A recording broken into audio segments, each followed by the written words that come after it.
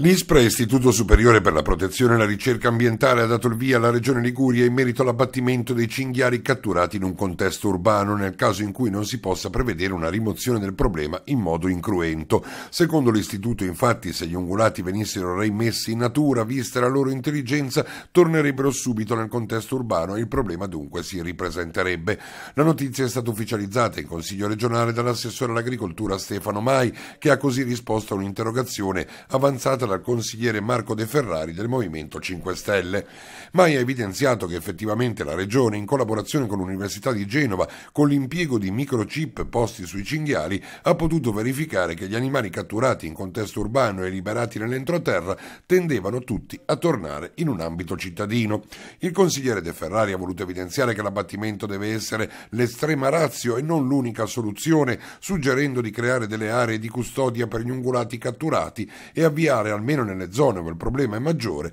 un processo di sterilizzazione degli animali.